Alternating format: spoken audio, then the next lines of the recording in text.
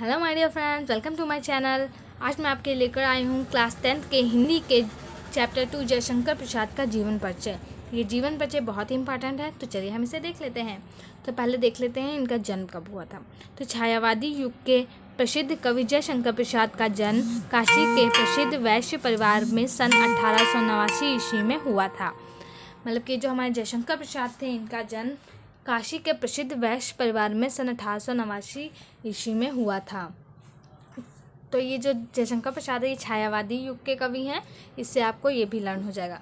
तो चलिए आप आगे देख लेते हैं इनके माता पिता के बारे में। तो चलिए देखते हैं। इनके पिता का नाम देवी प्रसाद था, जो साहित्य प्रेमी थे। प्रसाद जी ने नौ वर्ष की आयु में ही एक कविता की रचना की, जिसे पढ़कर इनके पिता ने इन्हें महान कवि बनने का आशीर्वाद दिया था। कि जब जयशंकर प्रसाद जी जी नौ वर्ष के था, थे, तब ही इन्होंने एक कविता की रचना की थी, जो कि इन्होंने अपने पिताजी को पढ़ाई। तो उनके पिताजी ने जब ये कविता को पढ़ा तो इन्हें बहुत ही अच्छा कवि, महान कवि बनने का आशीर्वाद दिया। कुछ समय बाद इनके पिता माता पिता की मृत्यु हो गई। मतलब कि कुछ समय बाद इनके माता पिता की मृत्यु हो गई थी। चलिए आगे देख लेते हैं, कि इनकी शिक्षा वगैरह कैसे हुई तो देखते हैं।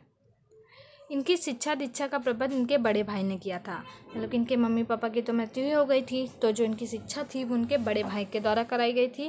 क्वींस कॉलेज में इनका नाम लिखाया गया, किंतु इनका मन वहाँ नहीं रमा बल्कि इनका जो नाम है वो क्वींस कॉलेज में लिखवाया गया था, लेकिन इनका मन बिल्कुल नहीं था कि पढ़े लिखे हम तो इनका मन वहाँ नहीं रमा घर पर योग शिक्षकों से अंग्रेज़ी व संस्कृत का अध्ययन करने लगे, बल्कि तब जब ये कुंस कॉलेज में नहीं पढ़ना चाहते थे, तब इनके भाई ने उनके घर पर ही बहुत अच्छे जो शिक्षक थे, उनको घर पर ही ट्यूशन के तरीके से इनको अंग्रेज़ी व संस्कृत भाषाओं का अध्ययन कराया गया। विवाह देख लेते हैं। विवाह की एडिंग प्रसाद जी ने तीन शादियाँ की, परंतु तीनों पत्नियों की मृत्यु हो गई। इन सभी असामाजिक मौतों से ये अंदर ही अंदर टूट गए। जब कोई इंसान एक शादी करता है, उसकी वाइफ मर जाती तो उससे कितना दुख होता है। और इन्होंने तो तीन तीन शादी की थी, उनकी तीनों ही पत्नियाँ मर गई थी तो ये इसी वजह से अंदर से अंदर बहुत टूट गए थे। चलिए आगे देखते हैं रचनाएँ इनकी। तो इनकी रचनाएँ पहले देखते हैं। काव्य रचनाएँ। करुणालय प्रेम पथिक झरना, लहर, आँसू, कामायनी। इसके बाद आ जाते हैं इनके नाटक स्कंद गुप्त ध्रुव स्वामी अजात शत्रु कल्याणी एक घूट और बहुत सारे इनके नाटक हैं, चंद्रगुप्त वगैरह। तो ये बहुत ही इंपॉर्टेंट नाटक हैं, आप बहुत अच्छे से देख लीजिए इन्हें कहानी, देख लेते हैं इनकी, आकाशदीप, इंद्रजाल, आंधी और छाया। इसके बाद हम देख लेते हैं उपन्यास इन्होंने कौन कौन से लिखे हैं।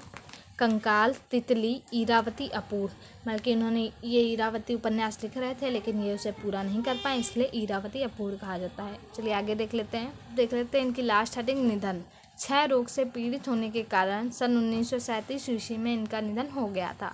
क्योंकि जो हमारे जयशंकर प्रसाद थे, इन्हें क्षय रोग हो गया था, जिसके कारण उन्नीस सौ सैंतीस ईस्वी में इनका निधन हो गया था। तो आई होप आपको जीवन परिचय समझ में आ गया होगा।